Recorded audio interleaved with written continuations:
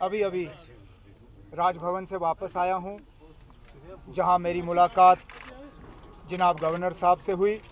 अगर कि 2014 में हमें गवर्नमेंट बनाने का मैंडेट नहीं मिला तो आज 2018 में भी गवर्नमेंट बनाने का मैंडेट हमारे पास नहीं है।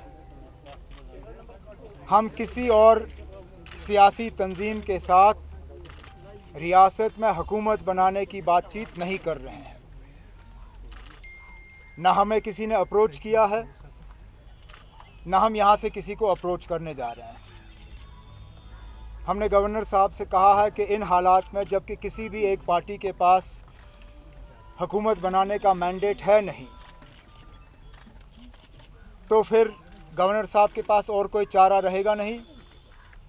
उनको फौरी तौर गवर्नर रूल लागू करना होगा और फिर कोशिश करनी होगी कि रियासत के जो बहुत ही ज़्यादा ख़राब हालात हैं, उनको आहिस्ता आहिस्ता दुरुस्त करना होगा।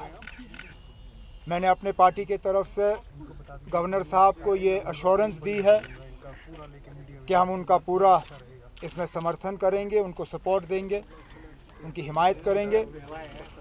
लेकिन हमने ये भी गुजारिश की कि ज़्यादा देर जो है गवर्नर रूल रहना नहीं चाहिए।